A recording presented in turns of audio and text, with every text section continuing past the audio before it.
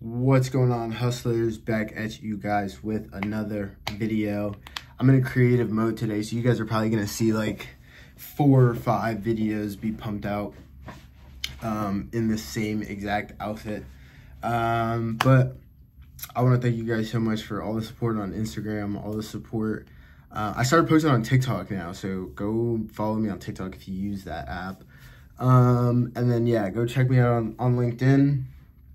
Um, so today we're going to be talking about the five best certifications that you can have in government contracting. Now, some people talk about these certifications and they don't do a good job of explaining them. Some people talk about them and don't really know what they're applicable for. and I actually already filmed this video. I filmed this video last week, but I kind of half-assed it and I didn't really give you guys like enough good information in it and I was like reading a Reddit thread and somebody was just complaining about how there wasn't like enough information on YouTube about government contracting and how like all this stuff is super surface level.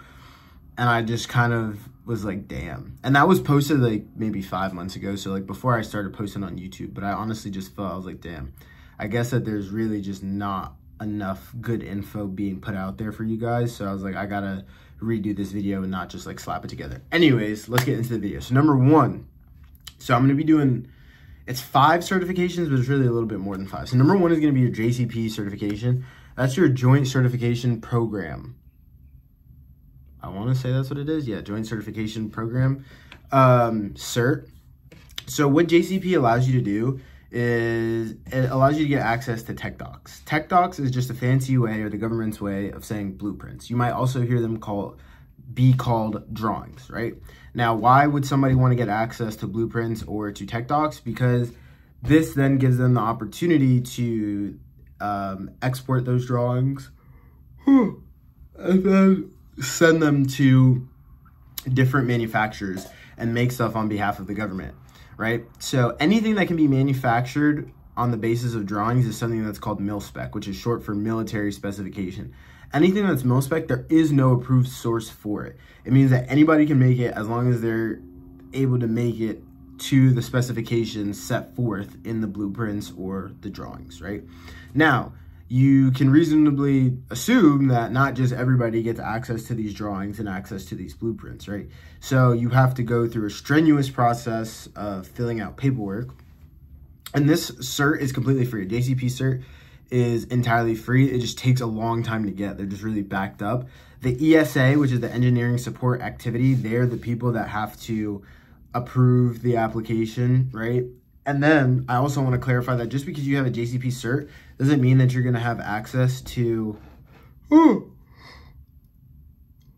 Oh my God, I don't know what's wrong with me. I had a big cup of matcha today and I got good sleep. Um, the ESA, the engineering support activity, they um, have to approve your JCP certification.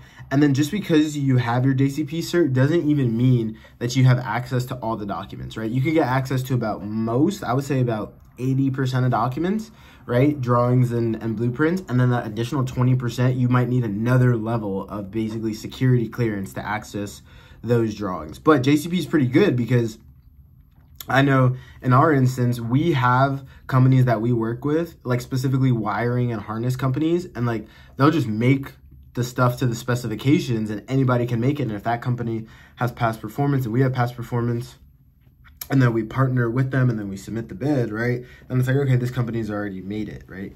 And then in bootcamp, we'll talk about how to become an approved source or how to get your name on the list um, of the approved source to basically become a company that can provide mil-spec stuff and is the company that DLA says they want to go to. So that is a possibility you can do that. So that's cert number one, JCP certification. Huh. number two, an ISO cert. So an ISO is a quality assurance cert or certification where an assessor is going to come and evaluate your processes. And when I say processes, this is going to be like, how are you making, what processes do you have in place to make sure you're not selling counterfeit goods? What processes do you have in place to make sure that you're compiling all the necessary uh, paperwork?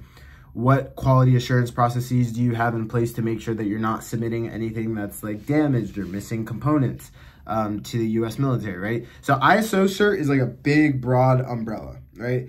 and then there's ISO certifications for um, aviation. There's ISO certifications for marine parts. There's ISO certifications for automotive parts, and I'm sure that there's more. Those are just the only ones that I could. I'm pretty sure there's. Oh yeah, there's IT ISO certifications, right? And they're all denoted by a certain set of numbers.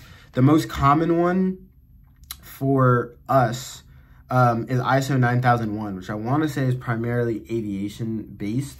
Um, and that might also cover some portion of the automotive industry as well. So your ISO cert, that needs to be done by an assessor and you have to pay for that. So the price ranges from as cheap as like $2,000 to I've seen some companies offering it for like $12,000, right? And the difference is, is I guess some companies are just more reputable than others, and then also the the industry that you're trying to get the quality assurance certification in. I'm sure it's a lot more strenuous to get an aviation certification than it is for like an automotive in, um, uh, certification because if something breaks on your car, you just pull over on the side of the road. If something breaks on a plane, well, you get the idea, right? So um, an ISO certification is a quality assurance cert, and it'll tell you in the contract whether or not you need to be ISO certified. And a big mistake that a lot of people make is they're like, oh, I'm ISO certified, so I'm all good to go. Um, anything that's outside of um, oops, sorry, I just got a text on my phone, so my, I just lost my train of thought. Um, if the contract says ISO certified and you're ISO certified, keep in mind that means everybody who handles the product has to be ISO certified. So your distributor has to be ISO certified, or your manufacturer has to be ISO certified. so everybody who touches the part over its lifespan from the time it gets manufactured to the time you touch it to the time it goes to DLA has to be ISO certified. We learned that the hard way.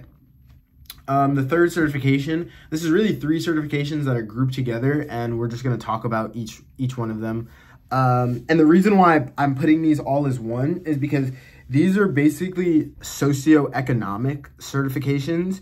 And like, if you're a straight white male that lives in a wealthy area that's not served in the military, this like isn't really going to be applicable to you. But like, if you're anything else outside of that, then it is applicable. And don't worry, if you are a straight white male, then you still qualify for um, you can actually qualify for small business cert and then we're actually going to talk about another kind of certification that you can get even if you're not socioeconomically disadvantaged but the three are hub zone woman owned sdvosb so hub zone stands for historically underutilized business zone right so that means anytime you live in a bad area or an area where there's not a lot of business conducted typically this is the hood or it could be a college town but typically college towns are also the hood as well. Like if you've ever been to Tallahassee, God bless that place. I love it like dearly with every fiber of being in my body. Go FSU, go Noles. Um, but it's really not a nice area. Like Baton Rouge, um, in LS, like where LSU is, really not a nice area.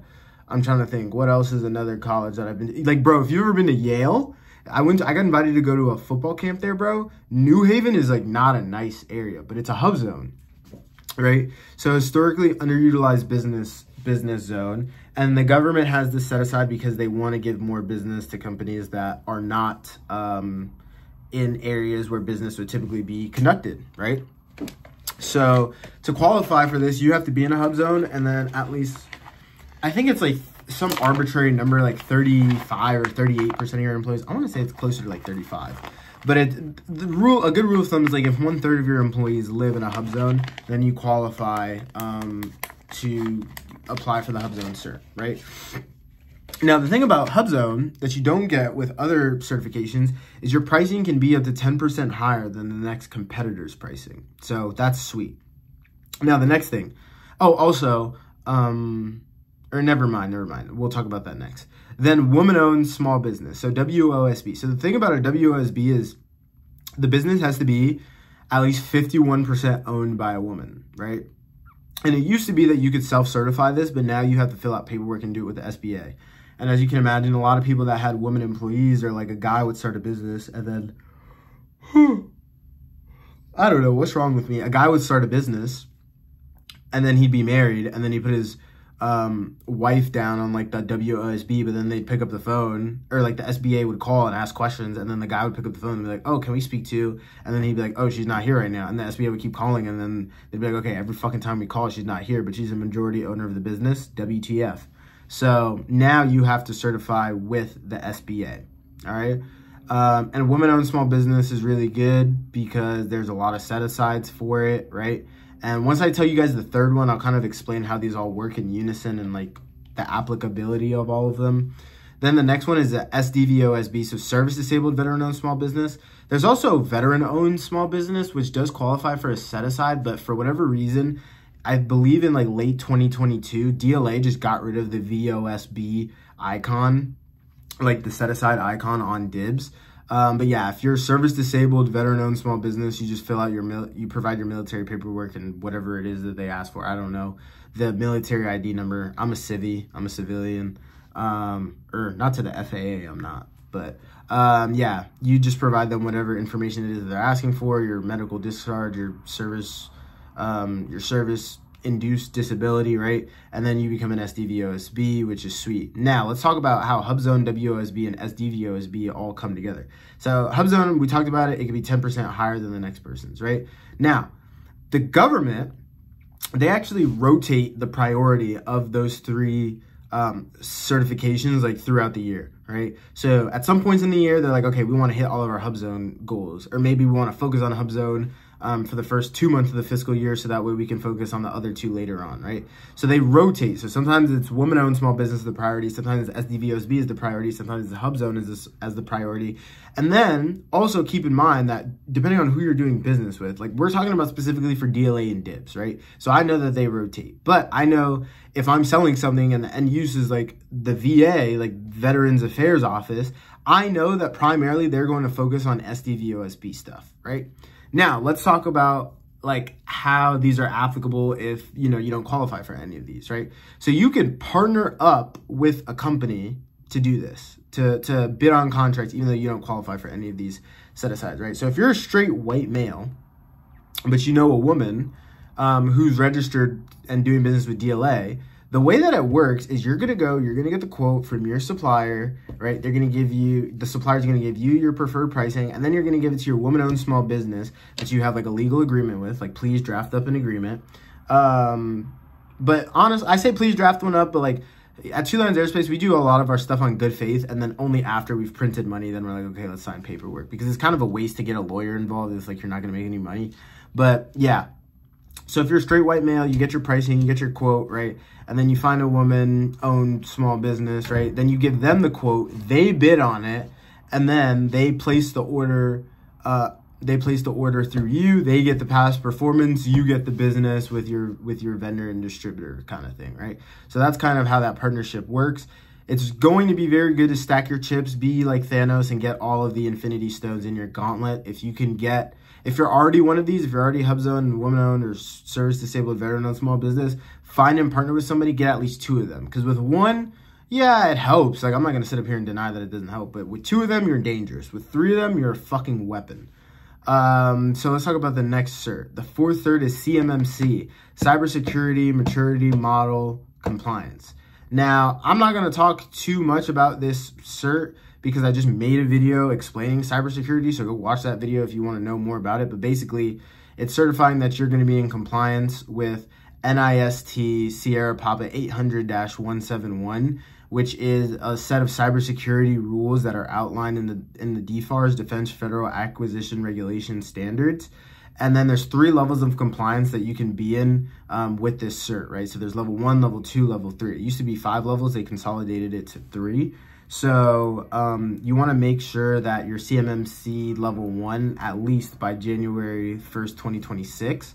Go watch my video where I talk a little bit more about that on Cybersecurity Explained.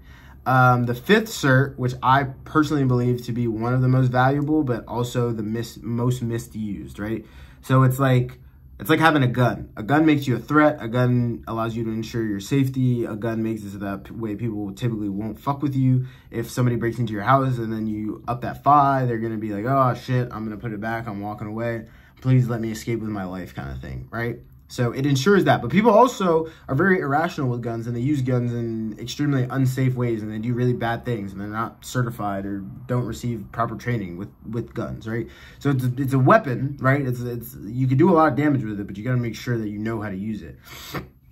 So an 8A certification is a certification that you can get from being socio or economically disadvantaged or being prejudiced against, right? So typically, gender discrimination, racial discrimination, I'm trying to think, gender discrimination, maybe you just live in like a poor neighborhood. If you're disabled, that could be one thing. Um, if basically, if you can prove in any single way that you've been discriminated against, the government will, um, you could possibly get, you know, your 8A certification. Also, the tribal 8A certification as well. That's a really big one. So if you can prove that, like, you come from, like, um, any indigenous peoples, like, here in America, like, ethnically, um, that's a really, really big one. Like tribal 8A cert certification is a really big one. That makes you el eligible for sole source contracts. And keep in mind, all of these certs um, that are like um, HubZone Woman Owned SDVOSB and 8A certification and the small business certification,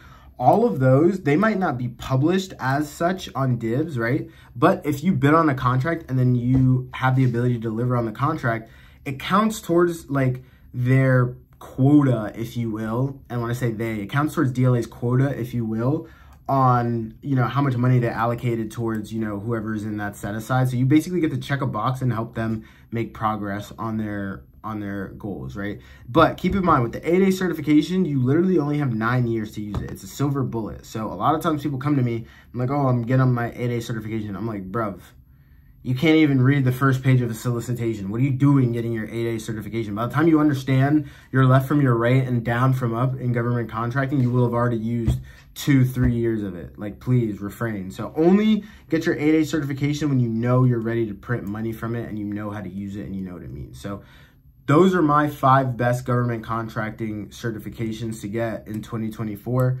Um, click the link down below and um, yeah, click click the link down below. Check out the new Nomyad website. We've just updated it with like sweet testimonials and stuff. Check that out. Um, two free PDFs. The how Richard made 500k in nine months with DLA PDF. How we basically coached him to that point. And then our free acronym sheet. Those are in my Instagram bio. Um, or you can get them on um, on our website, right? So those are two free guides um, two free pieces of information. And then our next boot camp, space is filling up quickly. Um, it's limited and you guys have, at the time of this recording, nine days to be able to sign up and register for it at a discounted rate. So click the link down below, um, get it at a discounted rate. Or if you feel like you're fucking stuck and you feel like you're just watching all my videos and like it makes sense but not really, or maybe it makes sense and you don't really understand how to apply this stuff, then book a call, get some coaching, the team will take care of you. Thank you guys so much for tuning in. Not only am I looking forward to your success, I'm sure of it. Let's go print those dollars, baby.